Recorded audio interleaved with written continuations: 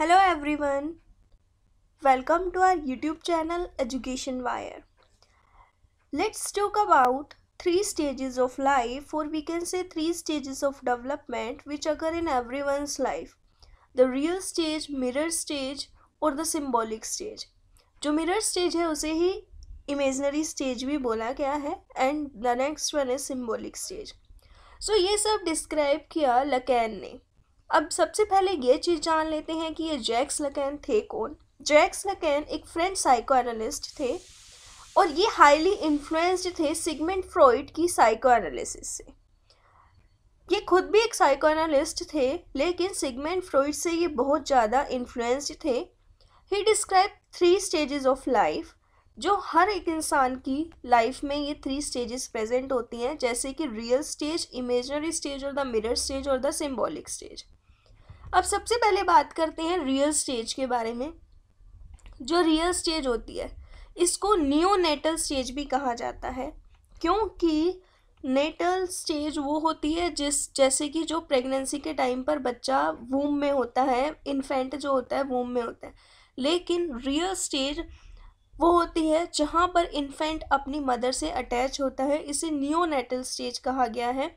इस टाइम पर बच्चे को किसी चीज़ की, एक इन्फेंट को किसी चीज़ की समझ नहीं होती no sense of individual identity वो अपने और अपनी माँ के बीच में किसी तरीके के फ़र्क को नहीं महसूस कर पाता।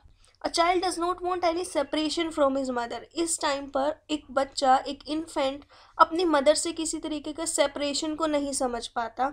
उसके लिए उसकी माँ और वो बच्चा ही पूरा वर्ल्ड है, उनके अलावा कोई और एग्जिस्ट ही नहीं करता।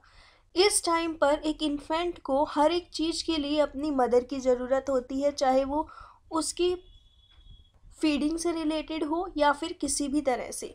सो so, हर एक नीड के लिए उसकी माँ उसके साथ होती है। सो so, ये रियल स्टेज चलती है सिक्स मंथ तक अकॉर्डिंग टू जैक्स लगैन और ऐसा सच में होता भी है कि कोई सेंस ऑफ़ सेपरेशन नहीं होती इस टाइम पर माँ और बच्चे के बीच क्योंकि ऐसा भी कहा जाता है कि इस टाइम पर जो माँ खाएगी वही बच्चे को लगेगा। सो so, ये है रियल स्टेज जहाँ पर कोई सेंस ऑफ़ सेपरेशन नहीं है। इसके बाद आती है मिरर स्टेज और the imaginary stage mirror stage और इमेजनरी स्टेज एक ही है। यहाँ पर इमेजनरी स्टेज का मतलब ये स्टेज नहीं है कि कोई इमेजिनेशन में है बल्कि इमेजनरी स्टेज का मतलब है यहाँ पर फुल ऑफ़ इमेजेस यहाँ पर जो सिक्स मंथ्स के बाद जो पीरियड शुरू होता है, वो टाइम पीरियड की बात की गई है कि जब बच्चा छः महीने का हो जाता है छः महीने से लेकर अट्ठारह महीने तक तो उस टाइम पर वो बच्चा कैसा होता है? Lacan believed that at around the age of six months an infant begins to recognise its own reflection in a mirror and to develop the self identity इस टाइम पर बच्चे की सेल्फ आइडेंटिटी डेवलप होती है और बच्चा अपने आप को मिरर में देखता है इस टाइम पर और वो अपने आप को समझ पाता है। अगर इससे पहले वो मिरर में देखेगा तो वो अपने आप को नहीं समझ पाएगा, उसके लिए वो इमेज कोई मायने नहीं रखेगी। लेकिन मिरर स्टेज पे आने के बाद, यानी कि सिक्स मंथ का जब बच्चा हो जाएगा, तब उसे मिरर दिखाया जाए, तब वो अपने आप को समझ पाएगा कि ये जो इमेज है, ये उसी की इमेज है। एक सेल्फ आइडेंटिटी डेवलप होगी। He can see outside of himself to define his identity वो अपने से बाहर के जो वर्ल्ड है, उसको समझ पाएगा कि और भी दुनिया एग्जिस्ट करती है। उसके और उसकी माँ के अलावा भी इस वर्ल्ड में और लोग हैं, और चीज़ें एग्जिस्ट करती हैं। But at this time he does not know how to speak इस टाइम पर उसे ये नहीं पता कि बोलना क्या है। लैंग्वेज डेवलप नहीं हुई है इस टाइम पर। He understand that things exist that are unconnected to his body now he can experience everything इस टाइम पर बच्चा ये चीज़ समझ सकता है कि इस संसार में और भी चीज़ें एग्जिस्ट करती हैं जो उसकी बॉडी से कनेक्ट नहीं है। पहले उसके लिए उस, वो और उसकी माँ ही एग्जिस्ट करते थे इस वर्ल्ड में, लेकिन अब वो ये चीज़ समझने लग गया। वो मिरर में उसने जब अपना रिफ्लेक्शन देखा तो वो ये चीज़ समझा कि उस, वो और उसकी माँ जो है वो डिफरेंट बींग्स हैं। अलग अलग है वो। और भी दुनिया एग्जिस्ट करती है इस वर्ल्ड में, और भी लोग हैं, और ये जो रिफ्लेक्शन है मिरर में, ये उसी की रिफ्लेक्शन है। इस टाइम पर इन्फेंट अपने आप को सेपरेट करता है रियल स्टेज से एंड अपनी मदर से। यहाँ पर आई कॉन्सेप्ट निकलता है आइडेंटिटी और यहाँ पर वो ना सिर्फ़ अपनी आइडेंटिटी समझता है, बल्कि दूसरों की आइडेंटिटी भी समझता है। कॉन्शियसनेस आ जाती है। वो सब चीज़ों को समझने लगता है कि ये लोग हैं। इस टाइम पर वो हर एक चीज़ का एक्सपीरियंस फील करता है। इससे पहले बच्चा सोचता है, वो और उसकी माँ, बस उसकी माँ उसके साथ अटैच्ड है और होती भी है। पर मिरर में देखने के बाद वो समझ जाता है कि वो और उसकी माँ डिफरेंट आइडेंटिकल बींग्स है। अगर एक एग्ज़ाम्पल के थ्रू समझा जाए तो रियल स्टेज वो है जहाँ पर अगर बच्चे के सामने कोई ऑब्जेक्ट रख दिया जाए और कुछ सेकंड्स के बाद या फिर बच्चे के हाथ में कोई ऑब्जेक्ट दे दिया जाए, मान लीजिए कोई पेन या फिर कोई नोटबुक दे दी जाए और वो कुछ सेकंड के बाद उससे वापस ले ले तो उसे उस चीज़ का फ़र्क महसूस नहीं होगा, वो उस चीज़ को नहीं समझ सकता। लेकिन जब मिरर स्टेज में आने के बाद उसके सामने कोई ऑब्जेक्ट रखा जाता है तो वो अच्छे से समझ सकता है। वो उसके लिए रोने लगता है अगर उससे वापस वो चीज़ ले ली जाए तो। सो so, यहाँ पर वो चीज़ डेवलप हो जाती है आइडेंटिटी डेवलप हो जाती है कि उसके अलावा वर्ल्ड में और चीज़ें भी हैं। सो so, यहाँ पर I concept I word develop होता है आइडेंटिटी डेवलप होती है इस चीज़ को याद रखिएगा क्योंकि आगे हम अभी फ्रॉइड का कॉन्सेप्ट भी समझने वाले हैं id ego and super ego का जो कि इसी से रिलेटेड है। हालाँकि इससे अटैच नहीं है बट इससे कुछ हद तक रिलेटेड है तो उसे समझना भी ज़रूरी है।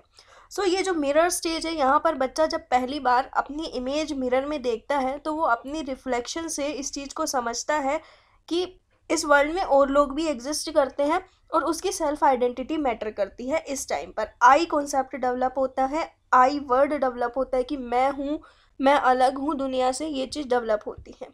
नेक्स्ट है सिम्बोलिक स्टेज इस एज पे बच्चा लैंग्वेज को एक्वायर करता है, क्योंकि मिरर स्टेज में, सबसे पहले रियल स्टेज में कोई सेंस ऑफ़ इंडिविजुअल आइडेंटिटी नहीं होती, ना लैंग्वेज होती है, ना सेपरेशन होती है, और ना वो इस वर्ल्ड को समझ पाता है।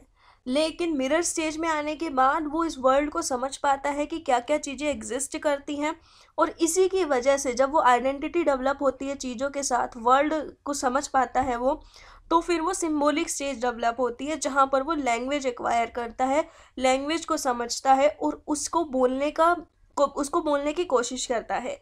He try to express his feeling into words अपनी फीलिंग्स को वर्ड्स में एक्सप्रेस uh, करने की कोशिश करता है।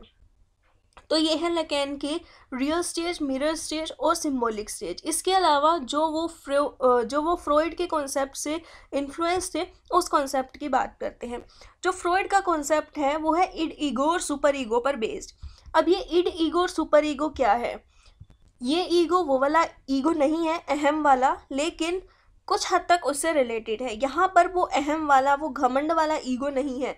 लेकिन ये जो इड है यहाँ पर बच्चा जो है जिद करता है। जो आई कॉन्सेप्ट डेवलप हुआ था मिरर स्टेज में ये हर किसी में होता है लेकिन इट डिपेंड्स कि किसमें कितना वो किस हद तक काम करता है। फॉर एग्ज़ाम्पल अगर इड ने कहा कि मुझे ये वन लाख रुपीज़ वाला ये फ़ोन अभी ख़रीदना है तो मतलब उसे वो चीज़ चाहिए जिस टाइम पर बच्चा जिद करता है कि सिर्फ़ वो ही वो है। सो so, ये इड वहाँ पर है। अब सुपर ईगो की बात आती है। यहाँ पर वो चीज़ अब सुपर ईगो में वो वो ये चीज़ को समझ पाएगा कि उसे वो चीज़ नहीं करनी। पर जहाँ पर इड ये चीज़ बोल रहा है फोर्सफुली कि उसे वो फ़ोन चाहिए मतलब चाहिए, अब वो कैसे भी, उसके लिए सही गलत मैटर नहीं करता। लेकिन यहाँ सुपर ईगो ये कहता है कि नहीं, अगर हम ऐसे करेंगे तो पूरा बजट ख़राब हो जाएगा। हमें ऐसा नहीं करना चाहिए। ये मोरली सही नहीं है, या फिर ये कल्चरली सही नहीं है, या सोशली कुछ भी कुछ भी प्रॉब्लम्स बताकर अगर वो सही नहीं होगा तो सुपर ईगो कहेगा कि नहीं नहीं, हमें ऐसा नहीं करना चाहिए। लेकिन यहाँ पर ईगो जो है, ये एक ब्रिज की तरह काम करेगा। ये कहेगा कि ठीक है, अब फ़ोन तो लेना ही है। अगर हम इतने का लेंगे, तब गड़बड़ हो जाएगी। अगर हम सुपर ईगो के साथ जाएँगे, नहीं लेंगे, तब भी दिक्कत है। तो अब ये जो ईगो है, ये एक ब्रिज की तरह काम करेगा और ये इन दोनों के बीच में आकर एक ऐसा फैसला लेगा कि ठीक है, अब लेना तो है ही, बिना लिए भी काम नहीं चलेगा और अगर इतने का लेंगे तो भी प्रॉब्लम होगी। तो ये ईगो एक ब्रिज की तरह काम करेगा और एक बीच का रास्ता निकालेगा कि ठीक है, हम जो है ट्वेंटी थाउज़ेंड या फिफ्टी थाउज़ेंड तक वाला जो फ़ोन है वो ले लेते हैं। सो so, बेसिकली कहने का मतलब ये है कि जो इड है वो जिद करता है। यहाँ पर आई कॉन्सेप्ट डेवलप हो रखा है कि जो है जो मुझे चाहिए वो मुझे करना है। लेकिन सुपर ईगो कहेगा कि नहीं ये मोरली या कल्चरली ये सही नहीं है। लेकिन ये ईगो जो है ये ब्रिज का काम करेगा जो कि हर एक इंसान में ये तीनों चीज़ें होती है अकॉर्डिंग टू फ्रॉइड और होती भी हैं। लेकिन यहाँ जो आई कॉन्सेप्ट है, जैसे कि ये जो मिरर स्टेज में जो डेवलप हुआ था आई कॉन्सेप्ट आइडेंटिटी वाला, और जो यहाँ पर फ्रॉइड के कॉन्सेप्ट में इड जो हमने सीखा, जिसमें बच्चा जिद करता है या जिसमें कोई इंसान जिद कर रहा है, ये चीज़ लिटरेचर में भी ये चीज़ कई जगहों पर दिखाई गई है। बहुत सारे कैरेक्टर्स में हम इसको देख सकते हैं कि वो इड किस तरह काम कर रहा है। सही गलत कुछ मैटर नहीं कर रहा, जिसका मन किया, उसके साथ गलत कर दिया उनके लिए वो गलत सही भी कुछ नहीं है। We can see the character of Iago जो कि शेक्सपियर का कैरेक्टर है। इसी तरह डिफरेंट डिफरेंट कैरेक्टर हैं जिनके अंदर ये जो इड है वो बहुत ही बेहतरीन रूप से काम कर रहा है। इसके अलावा ईगो और सुपर ईगो से उन्हें कोई मतलब नहीं है।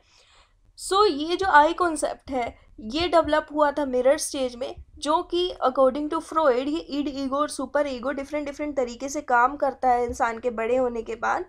So this is all about real stage mirror stage and symbolic stage I hope आप इसे अच्छे से समझ गए होंगे। अगर आपको ये चीज़ें समझ आ गई हैं तो hit like share it and subscribe it thank you